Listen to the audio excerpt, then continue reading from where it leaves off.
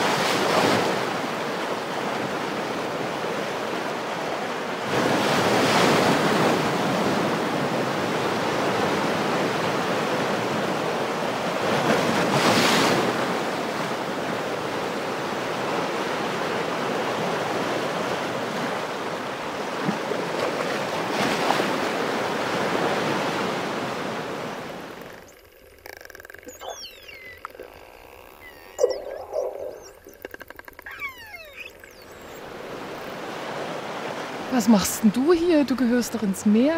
Ich muss doch herausfinden, warum ihr uns das antut.